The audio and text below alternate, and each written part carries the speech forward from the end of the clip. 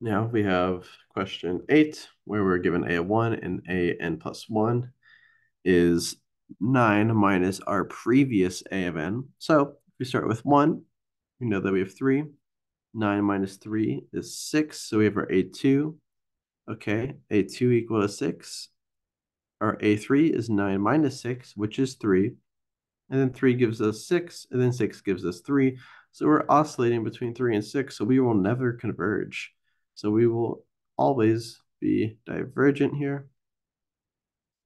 Um, but if we have 9 over 2, we're just going to have 9 minus 9 over 2, and then that minus 9 over 2, then that minus 9 over 2 is just going to get smaller, smaller, smaller, smaller, and eventually converge.